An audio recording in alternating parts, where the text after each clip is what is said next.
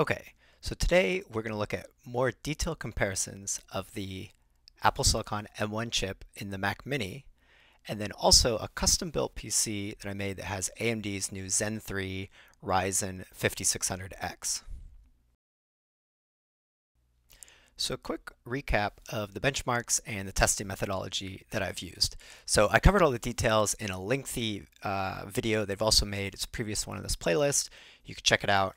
Uh, but a quick summary is essentially to be able to test across Mac and PC, I looked at Geekbench uh, as well as Cinebench, and then there's also the GFX Bench 5, and I sort of did standardized tests across single thread, multi-thread, and then graphics where you know applicable, both using uh, OpenCL, uh, the Geekbench allows you to do a cross-platform, and then Metal uh, for both Geekbench and GFX on the Mac, and then Vulkan for Geekbench and GFX on the PC.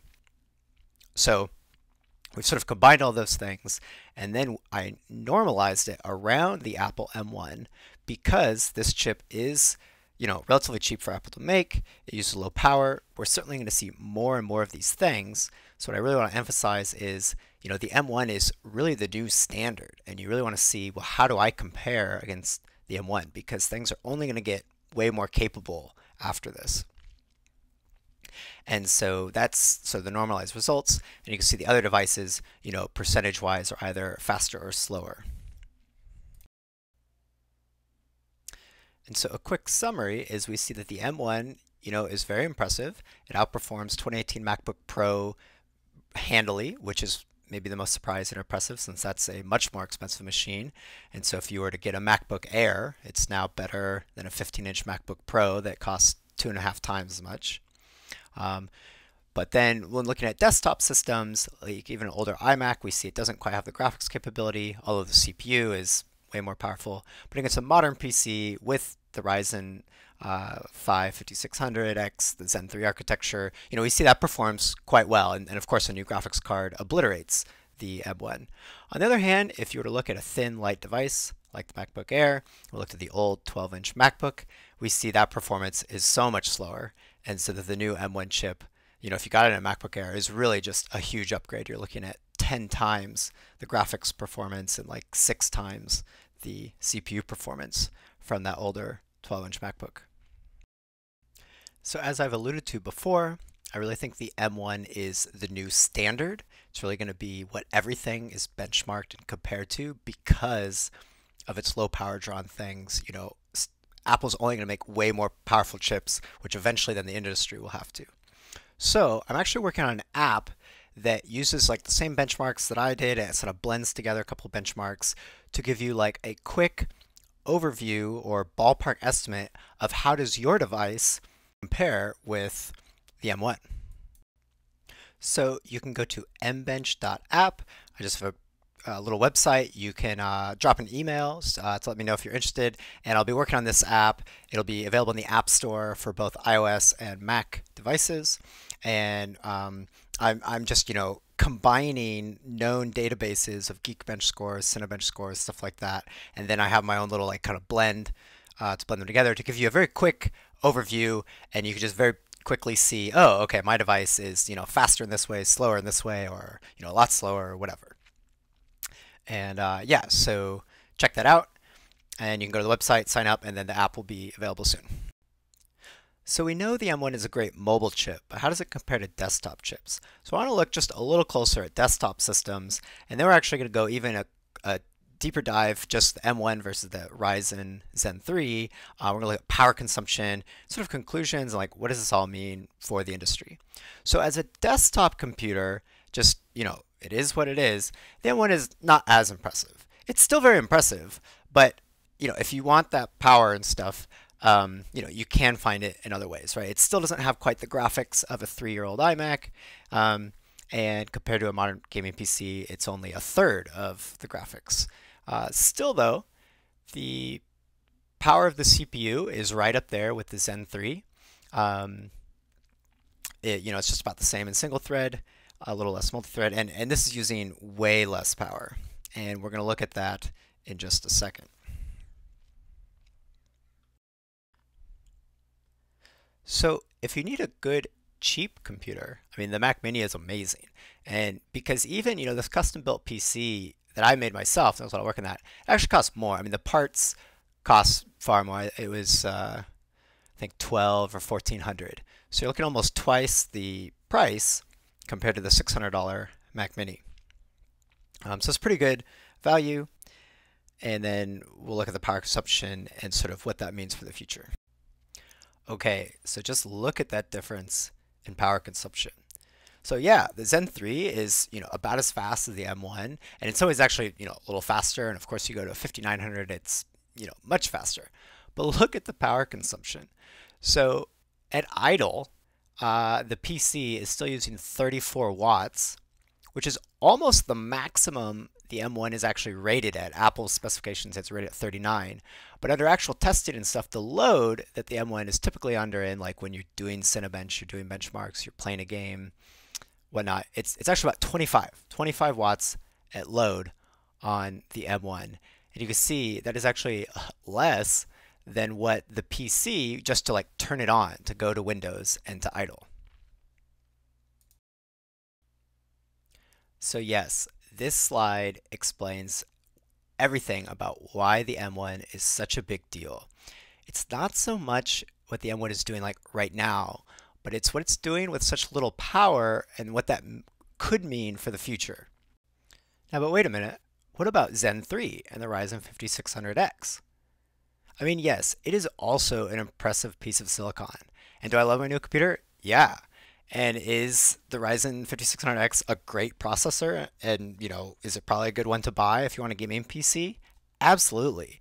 You know, if you want a gaming computer, it's still better to go PC at this point. Uh, and the performance is great, and it's a huge, you know, improvement over the older Zen, and now even beating Intel. And so I think it also puts AMD in a really great spot. At the same time, even though it is, you know, the raw performance is better, the reason why it's just not quite as exciting as the M1 is because of this crazy power draw and what that could mean for the future. And so this really is going to change the whole industry because this gives Apple such a significant advantage that if other players don't compete, you know, they're just not going to be able to offer the same experiences. And one of the experiences we're going to talk about a little bit later, but that's really important about this is VR.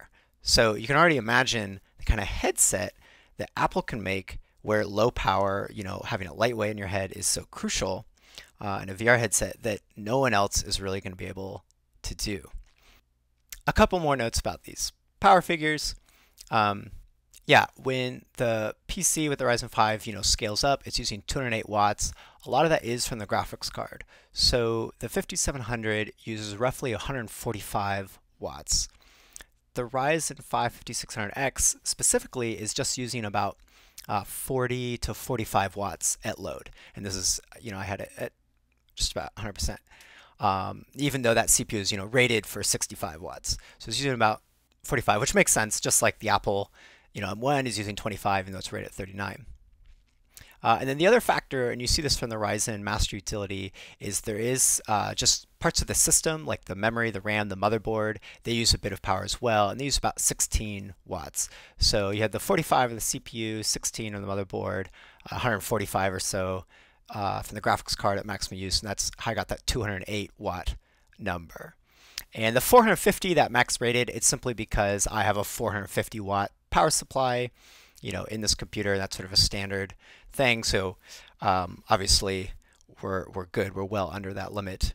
Uh, it should be noted the Mac Mini, even though it's rated at 39, uh, the power supply in that device is I think 150 watts. So obviously it's super overkill, but they just kept the old power supply that they were using. So in any case, right, the fact that you know the M1 at load uh, you know, the performance is pretty. You know, it's about same CPU and, and a third graphics, uh, but but that the wattage you're using is actually less than what the Ryzen machine is idling at, and and far less than when it's at load. So if you compare that, it becomes really interesting because so okay, at load the M1 is using 25, and the Ryzen machine is using you know let's say 200. So that's eight times, eight times the power, right? And yet the M1 is roughly on par CPU-wise, and it's only a third graphics-wise. So you can just imagine if Apple starts ramping up the power and if things scale linearly, they're just going to outperform it by such a wide margin. And that's what everyone's waiting to see. Um, I'm not sure that everything will scale exactly linearly, but I think to a point it really will. And so there's really going to be some really amazing, uh, some beastly Macs that are coming out the next years. And again, when you look at like other applications such as VR, this is going to have Apple a huge advantage that really no one else in the industry has. So just to drive this point home even further, I want to take uh, some other you know, power consumption comparisons that we can make.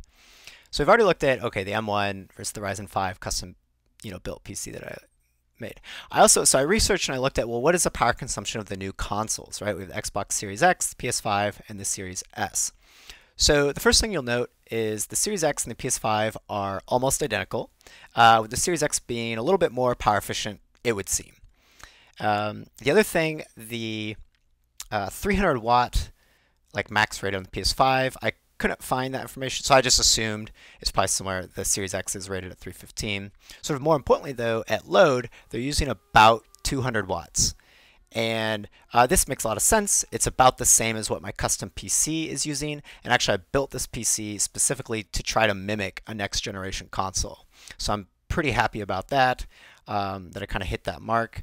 And what is interesting though, at idle, the PC is actually you know more efficient by a pretty good amount. So both consoles have quite a bit of overhead in whatever their operating system or something else is going on, which somewhat surprised me because they should be more efficient because it's actually a system on a chip, right? It's one chip in the Xbox and the PlayStation, and all the memory is integrated, kind of like the Apple M1. Um, and that should give you power efficiency advantages. As where a traditional PC, the RAM is slots that you plug in, you know, the CPU is a slot, and the graphics also goes through the PCI bus, and all that sort of thing. In any case, um, the PC does idle, you know, more efficiently.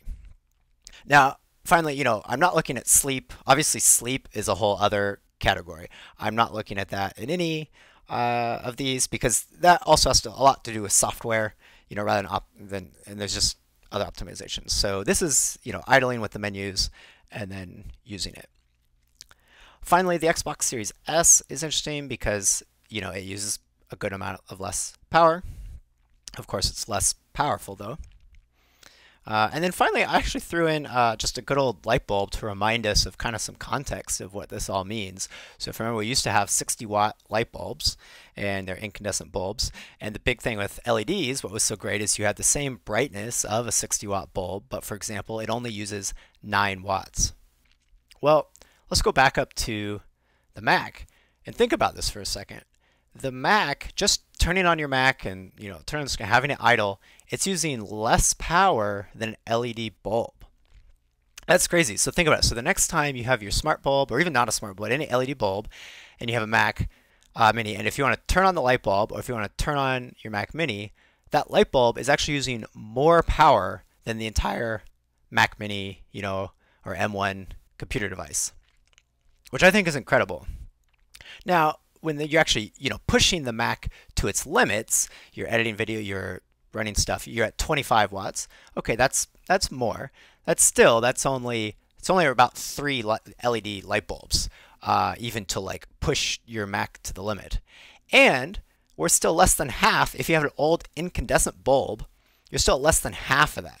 So think about you could have two Mac Minis running, I don't know, you know, server loads or CPU, you know, intensive stuff all day long, and those two Mac Minis would be the same as just turning on one old school incandescent light bulb. That's insane, uh, right? And when you look at all the other computing devices, you see how insane that is because all the other devices, right, their idle state is more than the Mac Mini at load, um, and and it's you know like half of a light bulb or something. But then when you actually want to use these devices and push them to their limits, they all go, you know, much, much more. So the Mac Mini is a really interesting thing because it's roughly performant uh, as a, you know, modern Ryzen uh, CPU, uh, but it has a third the graphics capability of, you know, the next gen consoles or things like that. However, it's only using one eighth of the power of these things.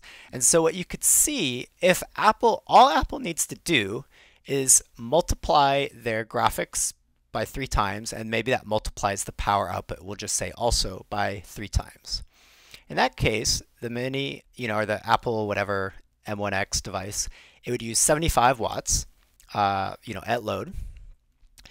And, and yet the performance, the, per the performance it would give you would be such of a gaming PC or a next gen console, right? So 75 watts would give you like a PS5 or Xbox Series X performance. And yet we're using less, we'd be just under the Xbox Series S, right? So only 75 watts instead of 85.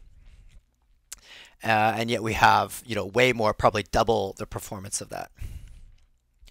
So that's what you can, you know, really expect to see in the future. And I think is very exciting. Um, We'll see what kind of devices Apple makes. Um, and then, of course, you know, finally, I'll say one more time. You know, why does all this matter and who cares about power and all these things? Well, for desktops, maybe it's not as important, but think of where computing is going. You know, yeah, there's mobile phones, but really the future of computing is in VR headsets, AR headsets. We know Apple is heavily invested in these things. And so, really, what the Apple M1 chip means. Uh, it's kind of, I mean, it's not really the future of the Mac. It kind of is. Honestly, it's the future for Apple because it's the future for the next Apple computing devices, which are going to be headset devices. And so when you can have these super high performing and yet low heat, you know, low power usage, lightweight, you know, VR headsets or AR glasses for different use cases, that's going to be incredible. It's going to give Apple a huge competitive advantage, and it's really going to drive this next generation of computing, which is going to be wearable, and it's going to be VR and AR. Thanks for watching the video, and uh, if you like it, subscribe, and uh, let me know what you think in the comments below.